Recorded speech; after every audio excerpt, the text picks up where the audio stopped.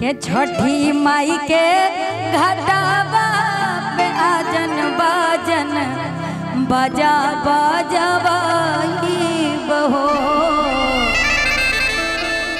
गोदिया में हुई है बालक बात, अरग देवे आई बहो। यही छठ पूजा में एगो बाझिन माई के घाट पे जाके, माई से कहता है माई, अब की बार अगर हमार मनोकामना पूरा करबू तो अगला बार हमहू कोसी भरब और हमहू छठ करब। आई भैया छठी माई के घटबा पे आजन बाजन बजा बजवाई